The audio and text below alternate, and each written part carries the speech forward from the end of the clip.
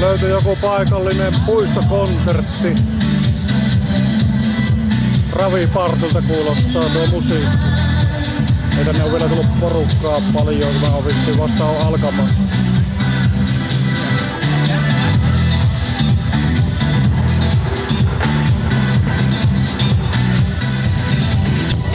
Siinä raskoittaa soittaa Alastaarille ja kaverille.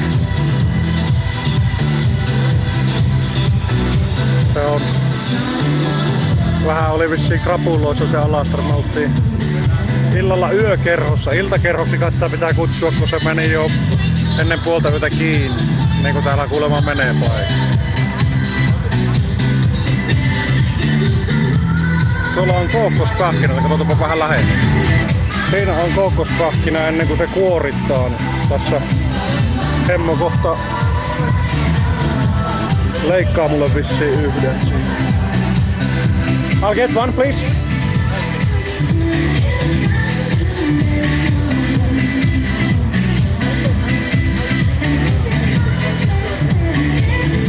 That's.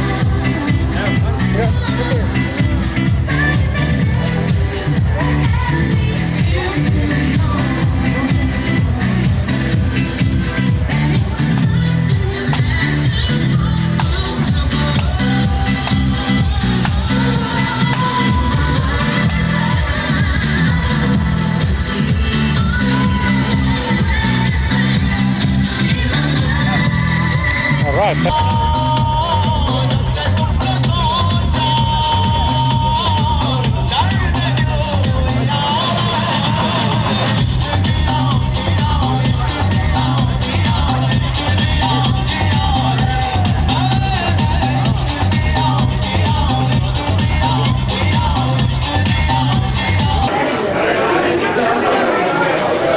Alkupalaksi syöty kookospähkinä, joka maksoi 35 Australian senttiä, eli parikymmentä,